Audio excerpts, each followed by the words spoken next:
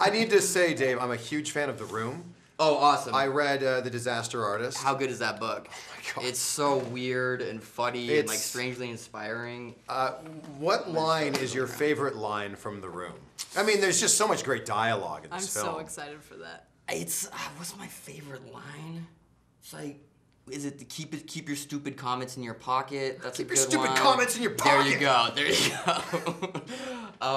um, I don't know. I mean, What th- about th- Yeah, chip chip chip chip chip chip chip chip? classic, classic. Um, and the book, it's like you just get this weird insight into their relationship. That's like Yeah. weirdly like undertones of like some sexual tension going on there, which is really strange because my brother and I play the two roles, which I think we cut out of the movie the underlying sexual tension. But But the all day as you're weird like- as you would imagine. All day are you like, oh hi James? no, he's the one who's talking like that. Oh, me. hi, Mark. Yes, there you go. There you go.